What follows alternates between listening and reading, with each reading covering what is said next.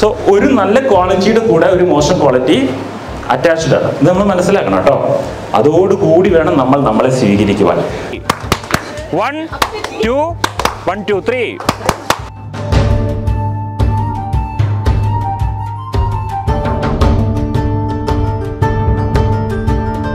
ബോഡിയുടെ ഓരോ അവയവങ്ങളിലും ഉണ്ടാകുന്ന പൾസ് റേറ്റിന്റെ വ്യത്യാസം ഫീൽ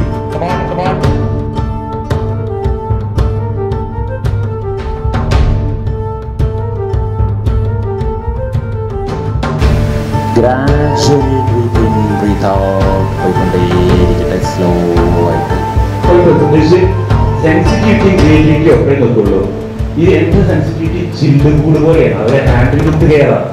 അടുത്തേക്ക് നിൽക്കണം അടുത്തേക്ക് വരണം. വെയിലൊന്നും കൊള്ളണ്ട ആരും കേട്ടോ ഡീപ് ബ്രീത്ത് ഇൻ ഡീപ്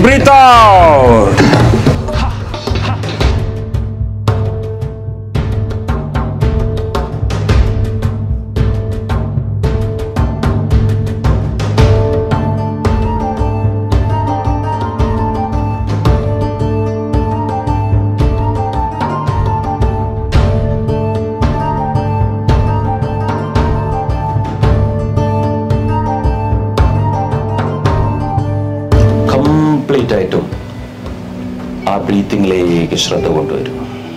എനിക്കൊരു സാധനം വാങ്ങണം തോന്നിയാൽ ഞാനായി മാർക്കറ്റിൽ പോയിട്ട് വാങ്ങുക ചെയ്യാം. എന്നെ ഒരാൾ ഇൻഫ്ലുവൻസ് ചെയ്ത് വാങ്ങിപ്പിക്കുന്നത് എനിക്കിഷ്ടമല്ല. എന്നെ ഇൻഫ്ലുവൻസ് ചെയ്യുന്നു കണ്ടാൽ ഞാൻ അവിടെ നിന്ന് മുങ്ങും. ഇത് എന്റെ സ്വഭാവമാണ്. ഈ സ്വഭാവമുള്ള ഞാൻ മറ്റുള്ളവരെ ഇൻഫ്ലുവൻസ് ചെയ്ത് വാങ്ങിപ്പിക്കാൻ പറ്റും എന്ന് വിശ്വസിക്കാൻ സാധ്യതയുണ്ടോ? ഞാനൊരു ഹെൽപ്പറാണ് പിന്നെ ഇല്ലേ ഞാൻ എല്ലാവരും ഹെൽപ്പ് ചെയ്ത് ഹെൽപ്പ് ചെയ്താലേ ഞാൻ ഈ വഴിക്കായത് കഴിഞ്ഞിരിക്കുകയാണ്. I don't know anything I have no future ആ ലെവലിൽ കിടക്കുന്ന ഞാൻ എന്നെ പ്രോസസ് ചെയ്തുകൊണ്ടിരിക്കുകയാണ്. ഒരു പക്ഷെ ചേഞ്ച് ആവും. ഓക്കെ ബട്ട് നൗ ഞാനത് സ്വീകരിക്കുന്നു. ഞാൻ എങ്ങനെയാണെന്നുള്ളത് ആ ബ്രീത്തിങ്ങിലേക്ക് ശ്രദ്ധ കൊണ്ടുവരും.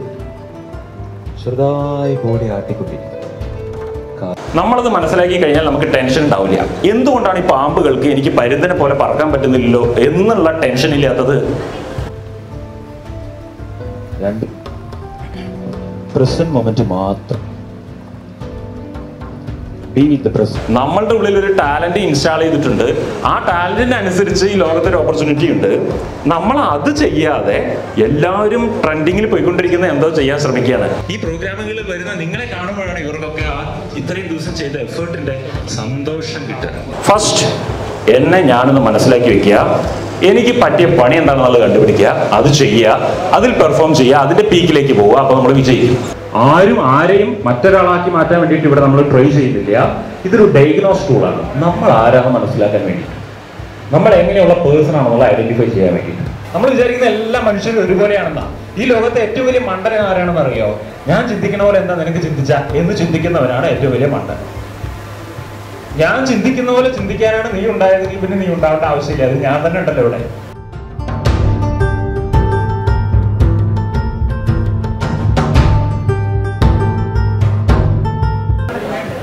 നാടൻ പശു. പിന്നെ? പിന്നെ വെച്ചൂർ പശു. പട്ടയക്കൂടെ ആട് നടക്കുന്ന സൗണ്ടായിരുന്നു അപ്പൊ ഇന്ന് നമുക്ക് അതും കൂടെ ട്രൈ ചെയ്യാം ഓക്കെ